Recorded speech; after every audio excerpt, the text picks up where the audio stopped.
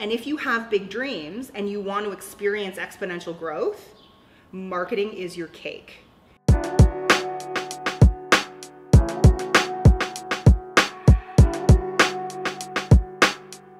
What's the most important metric to measuring success? So I'm gonna get like I'm gonna get a little bit like businessy here. okay. Cool. So in my opinion, well actually I don't even think it's an opinion. I think I'm just gonna, I'm gonna say that this is fact.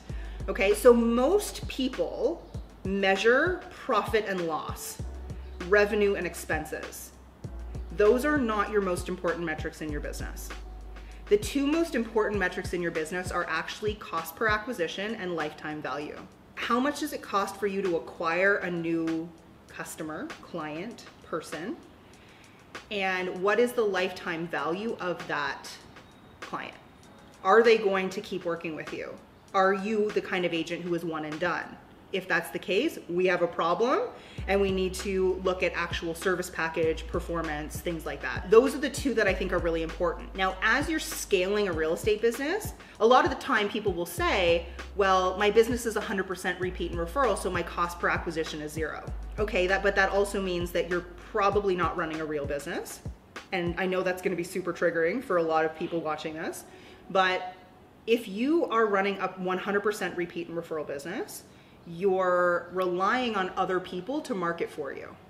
You have no control over whether they have that conversation, what they say, whether they bring you up in conversation. You know, especially in the last couple of years, we haven't had large Thanksgiving dinners that have been happening. We haven't had huge Christmases where people are like entire families are sitting around the table and talking about the new house and who did you work with and I'm thinking about moving. So if you're 100% repeat and referral, I would say that you're actually playing your business small. You can get to a certain level of repeat and referral, but it's also slower. And if you have big dreams and you want to experience exponential growth, marketing is your cake. Your repeats and referrals are just the icing. So if we're thinking that way and we're thinking like a real scalable, unlimitedly scalable business, then your cost per acquisition is really important how much does it actually cost you output wise to acquire a, a new customer, a new client? And then how is your service, your signature system, the, the, your methodology of how you serve these people, how is it working to keep that person in a lifetime value situation?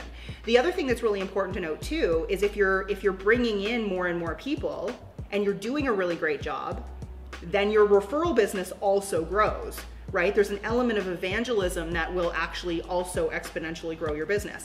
This is how people go from $150,000 a year to a million, two million, two and a half million dollars a year in a year. And it's because that exponential growth is possible through really high levels of service and also making sure that you're bringing more and more and more people in that create more and more evangelism right? So instead of thinking that your business has to grow like this, you can hockey stick.